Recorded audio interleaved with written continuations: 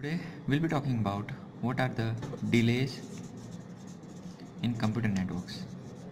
So basically there are four types of delays in computer networks. First is transmission delay.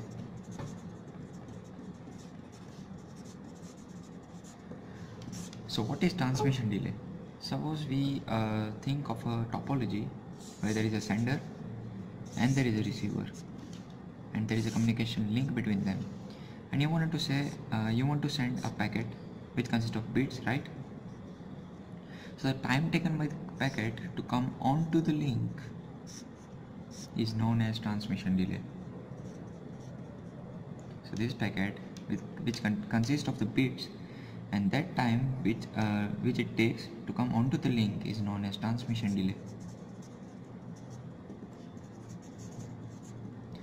so let us think what are the factors that are you know that affects this transmission delay. First we can think of the bandwidth. And second is the length of the packet. So let us derive a relation between these two and the delays of uh, that is transmission delay. All right so more will be the length of the packet more will be the delay. Right? And more will be the bandwidth less will be the transmission delay.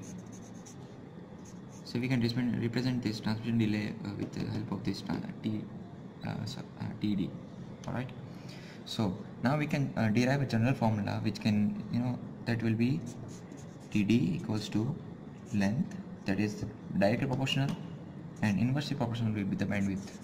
So this is the general formula for transmission transmission delay. Now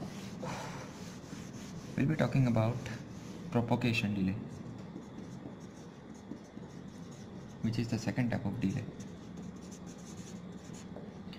So there is a sender and there is a receiver. We talked about this transmission delay which takes time of uh, you know packet to come onto the link right? So there is a packet onto the link. Now it consists of the bits so the time taken by the last bit to travel from the link to the receiver is known as propagation delay.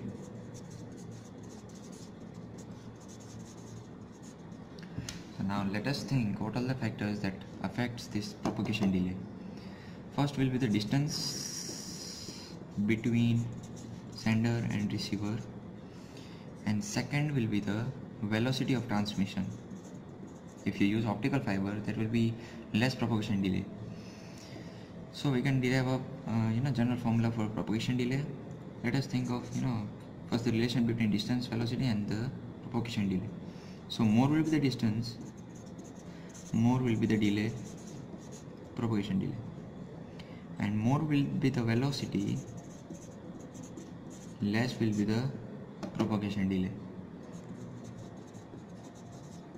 We can represent it by tp so what we can say is Tp equals to distance upon velocity. So this is the general formula for uh, propagation delay. So now let us talk about what is queuing delay which is the third type of delay we have. Queuing delay. So there is a sender and there is a receiver and between them there is a communication link. Now our packet is here. So now the time taken by the packet and before that there is a queue or a buffer you can say where there are many packets okay? So the time taken by this packet that is our packet that we have transmitted so the time taken by this packet to pass from this buffer and to reach up to the processing area.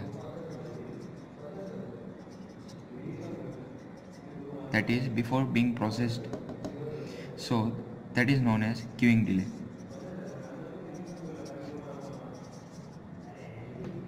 There is no general formula for queuing delay because queuing delay depends on, on the processing speed of the receiver. So there is no general formula for this.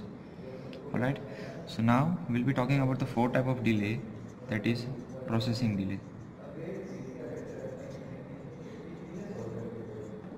Now we know that the packet has re reached this processing area. Now the time taken by the packet to get processed by the processing area or the processor of the receiver is known as processing delay. And again it depends on the processing speed of the receiver. So there is no general formula for this uh, processing delay. So we can consider queuing delay and processing delay as formula-less. So this was all about the different delays of uh, computer networks and thanks for watching